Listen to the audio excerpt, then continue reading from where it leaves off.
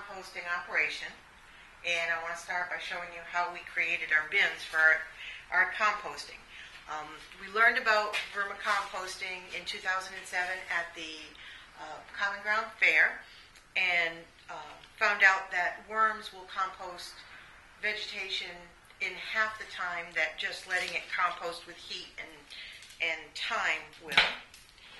This operation uses red wiggler worms, and this is a red wiggler worm. They look like earthworms, but they don't live in the earth. They will only live in compostable materials. And their entire life is eating and making more worms. Around the edges of my container, you can see all their castings, which is a nice way to say what's left over after they've eaten the compostable materials. Um, and that adds a lot to the um, nutritive value of the compost when it's done. It actually has more nutritive value than just composted vegetation. Um, we started this bin out. This is just a plain cheapo storage bin. We drew we drilled holes in here and covered them with silicone and screening so that we got a good air transfer in and out of the bin. And we drilled another hole at the bottom, and this is a more elaborate drain than most of my bins have. Um, it really just needs to be a hole so that the moisture that is created with the, the vegetation as it breaks down can get out.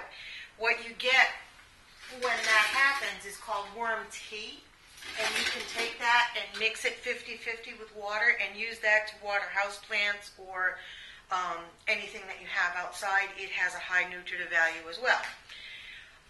What we use for a carbon source, and I'm going to put gloves on now, um, is shredded newspaper. And if you have a shredder at home for documents and that sort of thing, you could use that as well.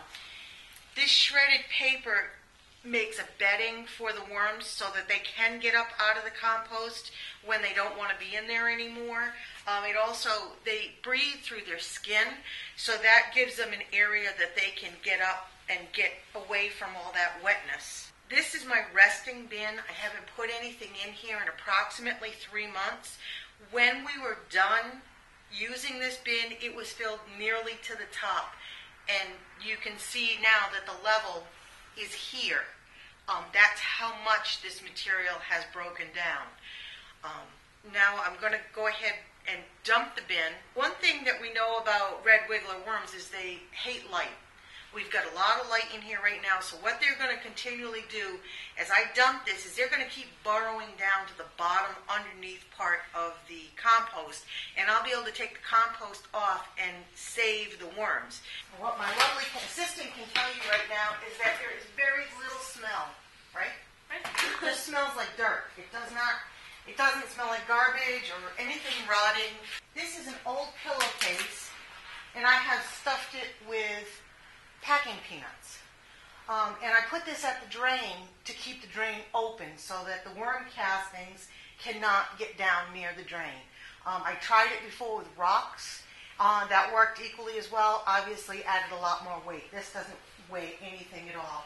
And then this is a piece of landscape fabric that I put over the top of this. This is just stuff that I had laying around. I'm going to start by spreading this out to get as much surface area as I can and as I do, you'll find there's very little here that is recognizable.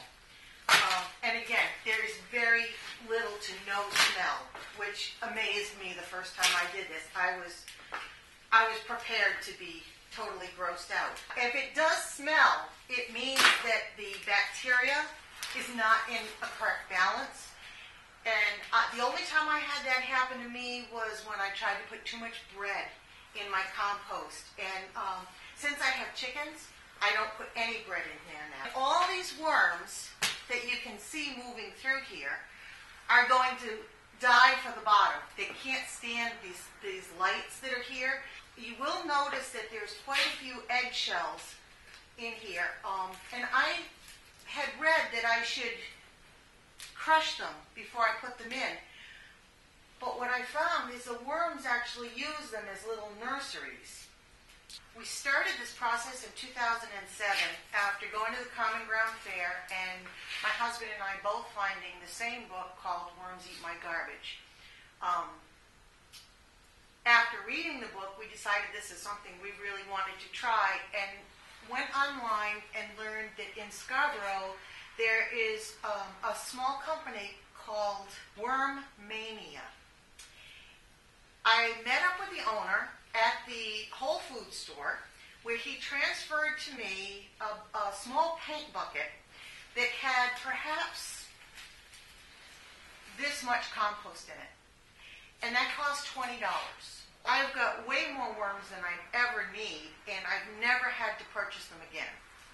Another large component of this, besides my vegetation, is coffee grounds, um, which does bring up the acidity of my compost, but um, I've not found anything that hasn't thrived in this compost. I've used it on annual flowers, perennial flowers, vegetable garden.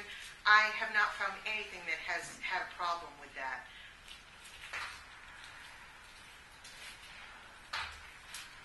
If I wanted to, I could take um, a section maybe this big of my bin, put that in another bin, and dump the rest of all of this in my garden. The red wiggler worms will not stay in my garden. They're going to continue to go on looking for other compostable materials to eat. But if I save just this little piece, it would be enough to colonize another worm bin. What I have here is just compost. It's got a few small worms in it, nothing I'm really worried about.